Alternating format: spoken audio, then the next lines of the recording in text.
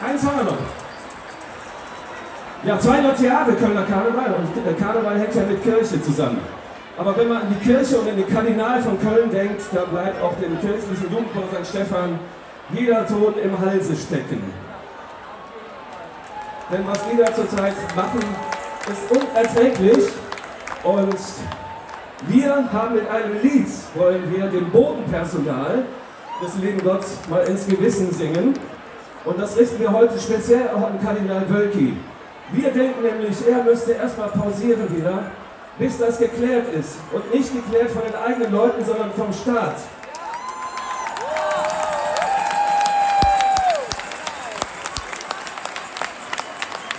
Und das, das Lied spricht für sich.